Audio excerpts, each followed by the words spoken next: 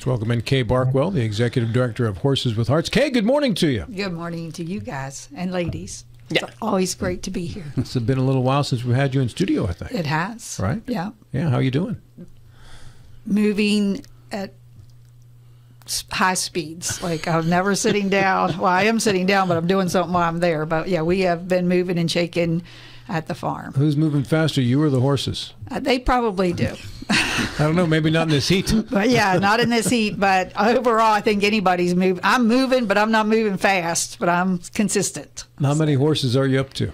We actually have three miniatures in our Mini Hearts program. I have four ponies and 11 horses. All right. Give us an overview of what Horses with Hearts is, how it started, and, and how you became involved. Well, it started back in 2005. Um, we are in, we we now do equine assisted services. We originally only did therapeutic riding, um, but we have uh, advanced into the equine learning and mental health fields since 2020.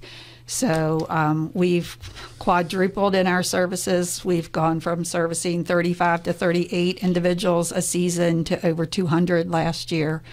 So we are, like I said, moving and shaking, and 2020 did not stop us. It catapulted us into um, quadrupling our services. So, how does a person who benefits from your services become aware of those services? Well, really now it's a lot of word by mouth. I mean, we have a, a really good, solid website at the at this time, but most of it's word of mouth, just people sharing. And um, of course, I'm out in the in the public as much as I can be, you know, sharing the vision and, and the benefits of not only therapeutic riding, but equine learning. And what are some of those benefits, Kay? Oh, gosh. Um, and I'm just going to try to, to bring it in. There's just a powerful healing space that's created when we foster a partnership with the horse. And um, while they're there, they have a real time, healthy life skills um, they get to practice that in real time, and we see emotions changing. It regulates their nervous system. Um, it increases our ability to live life more fully.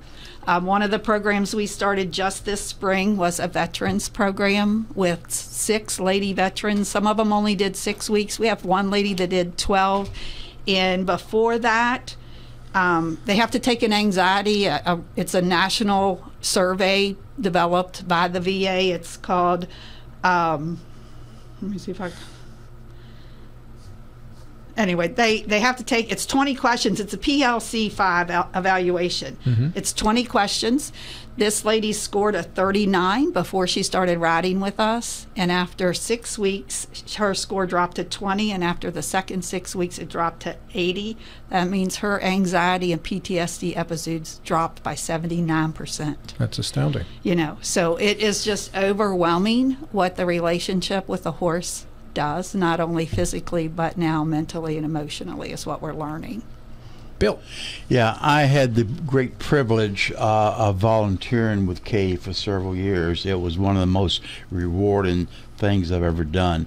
Uh, and watching the impact it had on a large range of people, all the way from uh, uh children, small children, up to uh, senior citizens. Uh, it's tale that I've told several times. I think you even mentioned on the show a couple so times.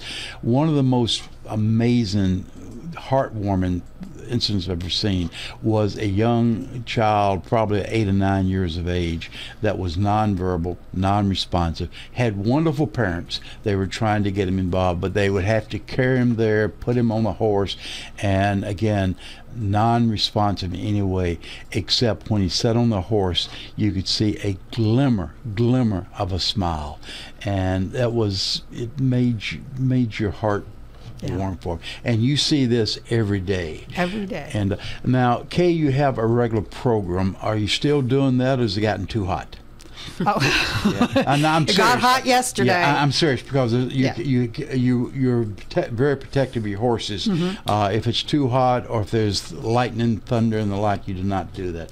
But are you able to continue except for this hot weather uh, into the fall? Yeah, we have managed over the last 15 years. We do a uh, spring, summer, and fall, and we just kicked off our fall semester September October yesterday, but we canceled because we have a, a gauge in the arena. It was 114 degrees in the arena yesterday. So we canceled, and um, you know we still battle that you know issue with the weather. It's you know something that I thought um, was always going to be the deterrent to keep us from doing things. But since COVID, like I said, we've started about six programs, and we just spin. If if we can go, we go. If we can't, we stop. And um, we're not letting the weather deter us until we get that indoor. And you have a lot of different t- programs, a lot of types of different programs. In total, how many folks are you serving on a given year? Last year we served about 250. It was like 250. 246. Yeah. You know, and I that number will increase because we've added three programs this summer. Yeah, so um, we've added another. Um, we do a horsepower summer camp that last year we did 80 kids. This year we did 100. Um, we've added the VA um, senior or the the um, veterans riding, and we've added a partnership with My Village, which is a program we partnered with the Brian O'Neill organization uh, foundation, and she does um, suicide prevention in middle schooler and high schoolers. So we've averaged um, around 10 kids each month. We started in April, we'll go through October. And um, it's astounding the numbers of the increases of overdoses that are coming in with kids under the age of 19 and more than about I think it's like 60% of those are attempted suicides. So that's huge in our area. And um, Lee has in six schools a program called um, Sources of Strengths, and it's based on finding your source of strength so that when you're having that bad day, and we provide the space at the farm and we do equine learning and then she does music therapy art therapy and the kids get to come in and check that out so you know we'll probably top out there with about 100 kids Maria. Talk a little bit about your, here's my softball question, about your building project and what it is that you hope to do, hope to accomplish, and where you are on the continuum of that. Okay. Well, because of the United Way Unity campaign, we've made strides that I didn't even think about prior to. Um, we now have a hay storage building. We're working on an equine learning building, which will allow us to extend, you know, during that bad weather, but also further into the season. Um, we added asphalt to the farm, which uh, makes mobility much easier, you know, for our individuals that do have ambulatory issues. But we are getting ready to kick off what we're calling the Stable 1952 Club, and it gives people opportunity to to um, give to an annuity plan that will allow us to always have sustainability in a um, paid um, executive director. All of us are still volunteers, so we ne- real, realize that that's important as we continue to move forward. So we're kicking, we're putting that all together. We're going to kick that off this fall, following by a, a capital campaign to add that indoor, which will be an indoor riding arena. It will also have an educational building where we'll be able to pro- provide OT and PT services um, a mental health intake. We're currently partnering with Be Well, and they do some e- equine psychotherapy at the farm two days a week, so that will increase. And um, certainly be able to advance our Leadership Adventures program, which is leadership development for our businesses. So, and talk a little bit about that leadership program because I know it's in conjunction with what you do, but it, um, I know the chambers take advantage of that, but other groups can come in and and take advantage, and it's wildly popular with all those leadership Berkeley, leadership Jefferson, all those folks just. Um, adore that program. So, talk a little bit about It that. is a strong leadership development program that focuses on um, engagement of your employees. And we know everybody since COVID is suffering from keeping our employees engaged and, and the wellness of their mental health. So we do a strengths workshop that focuses on it helps us as individuals identify our strengths and where our sweet spots are and how we can take those from from a um, talent to a strength, but we parallel with the horse. And we talk about how the horse exists and how the horse leads, and then they, they get to go out and experience the horses and it just brings a whole different dementia into it. We also do a trust one and everybody knows that trustworthiness and trusting today is paramount. So we offer that to for for-profit businesses. You can come as a group or you can come we do some individual we call them mixed groups where any that's like the chamber leadership um, Berkeley and Leadership Jefferson do it, and um, we do it for nonprofits. Stacy Roan sends all of her employees through it. It really helps her identify where can these people excel, and what are their talents, and um, it's kind of team building on steroids. but the amazing thing is. 90% of what someone pays to go through the course stays at Horses with Hearts. Yeah. Kay, you've been talking about horses, but you also have a history with cows. would you tell Only us about? yeah. Would you tell about the your cash cow? By the I way, good choice because cows with hearts doesn't sound nearly as appealing as horses with hearts. Isn't that the truth? But I, I love this uh, the Kay's cash cow story. Well, it was just funny. You know, my daughter loves um, animals, and she came home one day and said, "Hey, mom, you know, um, Mike Renner's cow had babies, and it's a one's a twin, and it won't." The mama won't feed it, so I'm going to bring it home. And I'm like, no, I do not want. To. We a don't cow. need a cow. We don't need a cow. And to make the very long story short, she did. And then when Trinity United Methodist Church blessed us with the land that we have, um, we went to the USDA off, USDA office and said, "Hey, what are what are the government benefits?" And the first thing out of the lady's mouth was, "Do you have any cows?" And I said. One. Does that count? She said, "Well, is it on the property?" I said, "At this point, nothing's on the property, but I can get him to the property." um, it was a steer, it was a, you know, and and um, so she said, "Well, if you put that cow on that property, you qualify for every program we have. Without him, you qualify for nothing." So we did move um, I him. hope you gave your daughter a bonus. Yeah, she sat there and she said, "See, Mom, I told you God gave him to us for a reason." And I'm like eating the words. Um, we lost him two years ago. Um, he lived eight and a half years, and for a steer, that's pretty good life expectancy. Um, It's because he was commiserating with all those horses. yeah. You know. Well, he had his own private pasture, Oh, okay. but he loved people. Um, he loved to do selfies. P- kids would go up, and he'd just put his head over the fence and takes you know, a, a selfie with them. And now, since then, we produce our own hay, so we still are zoned agriculture and able to keep that status without him. Um, but we Not miss- thinking about another cow anytime no, soon. no, okay? put two No, too horses in those pastures. How, how old was your daughter when she brought the cow home? oh gosh, she was 22, 23. All right, so this years isn't old. like a nine-year-old bringing home a cow. No, no, and he was really just about. He was only less than 24 hours old, Oh, and um, she put him. She put some pan- panels up in our backyard, and God love her. Every day she took him out. Every night she took him up, put him in the garage, or actually she brought her horse trailer home, put him in the horse trailer, and then every morning she would take him back out. And um, I swore I wouldn't feed him. I did feed him three times when she was out of town. But um, he really was a huge blessing and a, and a delight to have in our in our world. It That's saved you a lot of money too. It The- did, the yeah, ca- the cash cow. So. He, he brought Yeah. a lot of federal funds Yeah. to us. Kay, you mentioned the indoor riding arena, which has been a dream of yours for quite a while. How much money will it require to make that happen? Well, we really haven't at this point. I mean, we have um, the uh, the uh, the um, drawings, the architectural drawings for us. We're working on the site plans. We're working all, all of that. But our capital campaign will run about three million. But that will also finish the complete complex.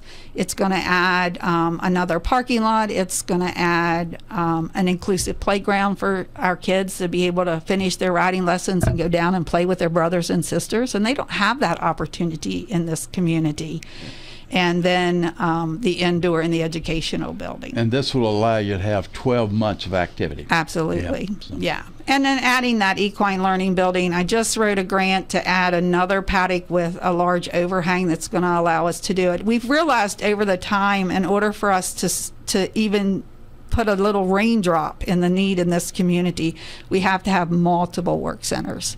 So we'll end up with that indoor having about 6 mm-hmm. work centers, covered work centers. The recognition you have and the prestige you have in the community is very impressive. Uh, uh, day of uh, uh, Day of Caring is coming up, and every day of caring, if I drive out there, there seems to be about half the people that are participating in Day of Caring is working with Horses with Hearts. Well, A lot of people, anyway. yeah, we've had, and even you know 2021 when covid was still Yeah. kind of hanging we had like 70 people there. And but we average 150 to 170 people. And it's really the community that makes Yeah. this happen. I mean not only you know they come out there they paint fence and and it's not just the day of caring. I just have groups constantly calling and saying hey can we come out? They wash buckets they paint fence they pick up rocks. Um, it just really you know And that's the way, you know, you talked about, um, you know, how you spread the word about something like this. Um, and it's really the very experiential, whether you've been out there for the leadership program or you're painting a fence or the last time it was really hot when you hosted a chamber mixer out there and I'm like, oh my gosh, it's hot. Um, And I say, welcome to my world. yeah, You know? all the time, all the time. But um, just you know, tremendous community support, and um, you know, and and just go and do, and and then you get hooked, right? Yeah, you really do. And uh, and Kay has a big, wonderful smile and is always laughing. But when you're with Horses with Heart, she's business, and she ensures that the horses are treated with respect. The riders are safety is a major consideration. You never compromise on safety, uh, and uh, it's it's it's very impressive watching everybody adhere to Kay's rules when you uh, when you get started. And do. talk talk a little bit about. Um, so you alluded to the volunteers who come and paint fences or pick up rocks, whatever. But talk about those who work hand in. Uh, hands on with um, uh, with the riders and and what kind of training they have to go through and so on. Yeah, um, we have a between forty-five and fifty volunteers. They most of them come one day a week. I do have a small group of uh, like six of us that because the horses have to be fed every day. You know, I'm blessed with a couple of ladies that come every morning. They check every horse. They brush every horse. They you know they they make sure everything's good. They clean water troughs. I mean, there's so much that happens at a farm that you don't even think about. I didn't think about because we always boarded our horse. You know, I didn't realize everything that went into it. And um, but to be a volunteer at Horses with Hearts, you have to be 14 years of age. Um, we have two different pro- two trainings you have to go through: an admin training and then an, a farm training, and it all walk, walks around what we do, how we do it, and um, every particular thing that has to be done. And um, we Because ha- not everybody wants to do that. I Right. mean, some people want to paint fence, right? So- Absolutely, okay. and and that's fine. We have a um, a couple of ladies that set up on the hill, and they just write down because everybody wants to know what are the results of what we do. Mm-hmm. So we have a checklist and check off whether the rider communicated with its sidewalkers that day, whether it refused to do something or it did something for the first time, and a lot of that comes, you know, with the instructor. Um, it's more than a pony ride. It's very educational. They're doing a lot of stretching, a lot of moving, a lot of connecting red to red, blue to blue. You know, just you know, counting. Sometimes they have to count, and so it's it's a whole wellness program for them. You know, we know because we've tracked it. Uh, everybody's got their. I don't have one, but those little eye watches that track every step that you take, and we know that when they're out there trudging in that sand, and they come when it's hot. They've come when it's raining. We've been out there in the sleet. We've been out there in the snow. And um, they just love what they do. And many of them will say, you know, I was having my worst day today. And when I got here, everything, Everything flipped." changed. You know, because you just, you see the value of what it does for the kids and the parents. You know, we had a little boy. This kid, child is still well, he's 21 now. He's not even a kid. He's an adult. You know, I remember six or seven years ago, his dad didn't come very often, but he came. And um, this young man has difficulty sitting up. I mean, we pretty much hold him on the horse, but he had a football in his hand, and he was to throw it through the hula hoop. And his dad said, he's not going to throw that football through that hula hoop, is he? And I said, I think so. and he said, I've waited his whole life to see my son throw a football. And I, he said, if it happens, I'm going to cry. And I said, well, crank up the tears because I think mm-hmm. it's going to happen. And that young man reached back and he threw that football straight through there. Mm-hmm. And I almost had to pick him up. I mean, his dad was just so thrilled. We don't think about the little things when our children are healthy, you know, and they're doing all the things. We don't think about the things that they they can't do. You know, I've had so many high schoolers come volunteer, and within two or three weeks, they'll go, Gosh, I just realized these kids are just like me. They want to have fun. They just want to come out and have fun. They want to have somebody talk to them, call them by their name, and have fun. Mm-hmm. And sometimes that's what that's really what we do, but so many things happen in the process. Sure.